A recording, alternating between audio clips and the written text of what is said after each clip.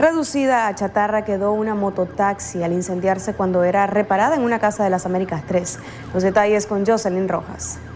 Milagrosamente, este hombre, soldador identificado como Arnulfo Rocha, de 52 años de edad, no resultó con quemaduras de consideración en su cuerpo después que se incendió esta caponera a la que le soldaba el mofle de escape. Estaba soldando esa caponera porque tenía fuga en el múltiple de escape, pero parece, o no es que parece, que tenía fuga en la parte derecha, porque yo estoy al lado izquierdo y se explota algo de pronto y me cubre de fuego la llama, la llama.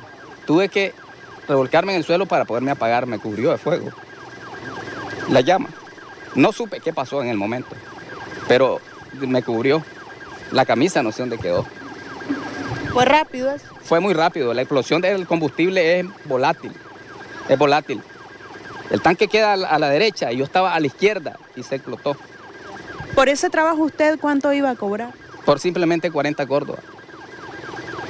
Casi pierde la vida. Casi pierdo la vida por 40 córdobas, por lo que no hay trabajo en el país. Desgraciadamente tenemos que hacerlo por nuestros hijos y nuestro sustento de cada día. Es que me cubrió la llama, la camisa, no sé, o sea, no sé qué pasó. No sé, solo me levantó en peso y me voló. ¿Los vecinos de inmediato salieron a ayudar? Gracias a Dios, pero ya se había quemado, o sea, y los bomberos tardaron para venir.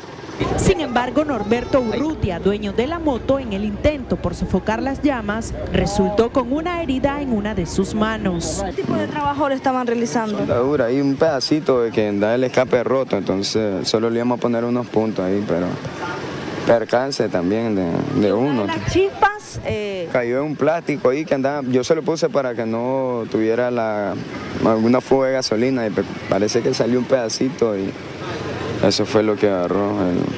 En el lugar fue necesaria la presencia de los bomberos, quienes de inmediato controlaron las llamas que poco a poco consumían el liviano vehículo. Llegaron a la delegación sobre un vehículo que se estaba combustionando. Venimos al lugar y estaba en combustión.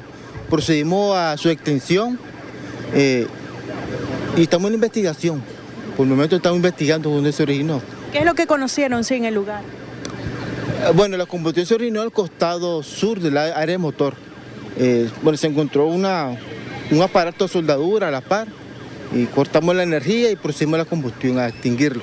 Según el dueño de la caponera, las pérdidas ascienden los 4 mil dólares. El hecho se registró en el reparto López, ubicado en las Américas número 3. Con imágenes de Larry Orozco en Acción 10, Jocelyn Rojas.